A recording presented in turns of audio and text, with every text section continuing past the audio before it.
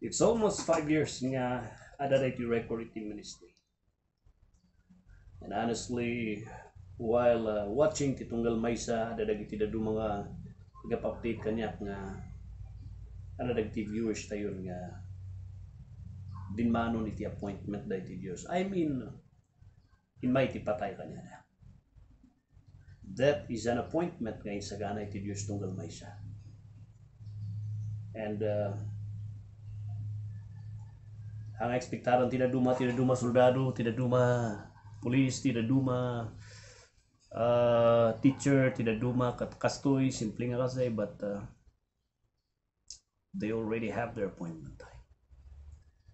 Dahil tibanag nga hantay nga matrayan dahil tibanag nga hantay nga kayat nga mapasama ka dati it is an occasion where we really hated it. Kung nati sa ti Diyos nalaan ni patay. Kalaban tayo. Dahil ti last nga kalaban ti tao. Dari ay kung natin dahil ti patay. It causes uh, pain. It causes heartaches. Mangibunga iti sakit iti nakam mangibunga iti panang questionar iti Dios and it shatters iti panunot dagiti ubing no dimtang dita iti pamilya. Iti ama kanina da but behind it ko natin nga hated nga kagurgura nga okasyon nga nito eh. Ano kadi nga mo nga behind ito nga nakabot-butong kagurgura nga okasyon. This is also perfect gift iti Diyos iti tao. So nagsalusod kayo, gift? Ti gift kat di napintas. Ti gift kat di mayat. Ti gift kat jay barong gadget tata. Ti gift kat di kolsunadak nga bado nga maala na nangina na makumalala tawon ti budget. Ti gift kat isu di motor, di lugan, death ibaga mga gift kasat no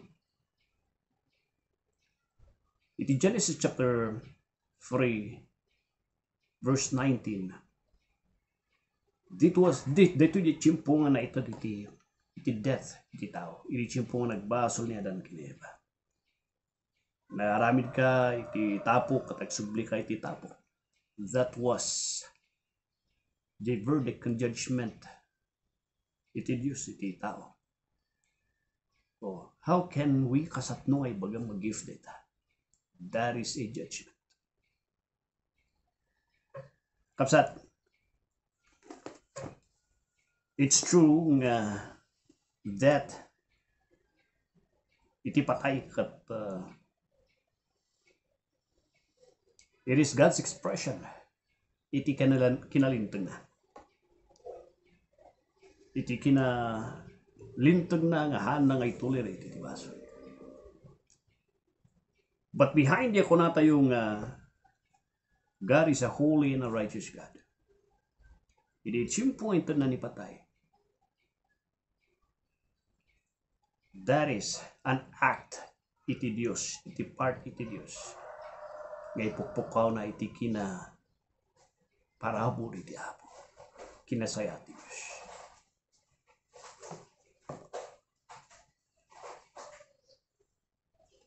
Dito'y Psalm 116 verse 15, Precious in the sight of the Lord is the death of His saints. Napatag, nabanor iti sangwanan iti Dios, iti panakatay dagiti santo na. Dagiti anak na. Sino dagiti santo? Ang dagiti natay nga nakanunay city church. Di santo dito nga sarita anak at dagiti insalakan na. Manipod diti impierno, isagana na isuda nga panay ti presensya na. Dagiti nga anak ti Diablo nga pinagbalin ng anak na. Dagitoy uh, managbasol nga insina na nga napakawan nga tatao. Kakabsat, iti sanguanan iti Diyos when it comes to death, karakiti anak iti Diyos. death becomes a gift. That becomes a gift kada kita anak iti Dios umuna gapusta. Kada tayo nga anak iti Apo nga hantay nga matarayan iti panagsakit iti bagi. That is God's gift. May isa nga napatag nga regalo iti Dios gapusta da ito iti wagas iti Apo nga isagdeng na iti panagsagaba dagiti anak na. Or could you just imagine dagiti morphine, dagiti nagpipigsa nga agas nga tumtumaran dagiti ag sagsagabang anak na. And the only thing that will cut off iti panagsagsagaba dagiti anak na is death. Ako nga saritaan iti suicide. That is a crime, a sin before God. Dakkel nga basol dito ti sangwanan iti Dios. Ti saritaan tayo dito kat iti panakatay iti tao not by intentional nga panangpatay iti bagi. Ti sasaritaan tayo dito kat di panang panaguyos iti salunat gapusta niya nga rod awan ti mortal nga tao.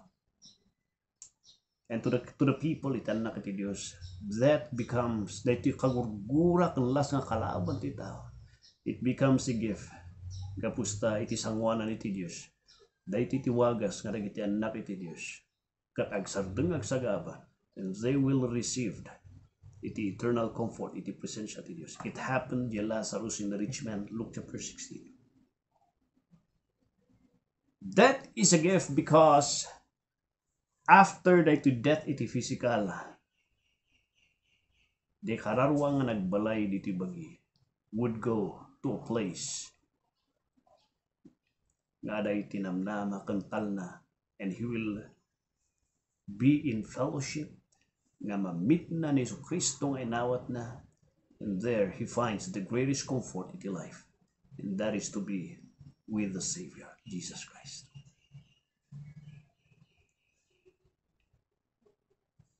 Kadagitihan ngayon mawat ka ni Kristo. That is a door to a more misery iti life Karagitihan ngayon mawat ka ni Kristo da iti patay kat ruangan iti mas nakarkaro nga panagsagaba iti likudan ti biyag iti daga. Because ada iti impyerno nga gurure kanyada. No wonder death becomes a gift. Karagiti anak ni Diyos. Kapusta da ito iti chimpo. Karagiti anak iti apo. Ket magunod da iti kari ni Kristo. Iti presensya iti Dios. Death is a blessing in disguise. Ngayon to diti Dios. Kadang iti tao. Kadang iti anak na. Karo kadang iti anak na. Ngayon mawat it saddens my heart kapusta for these five years nag-record tayo. Bakit kita klan di Facebook tayo? Sagsag guys ah. Ada lagi viewers tayo nga mapupukaw dahil. But the comfort that I have kat iti presensya iti ako in karina kadagitin mawat kanya na if these people nga viewers tayo katinawatan ni Kristo, then they receive God's great gift of eternal life. Babaan kinipatay. To the Christians, ni patay kat may nga asher nga magunod tayo ti liliwa and comfort tao kanya. Blessed day ka na kayo kapsat and God bless you.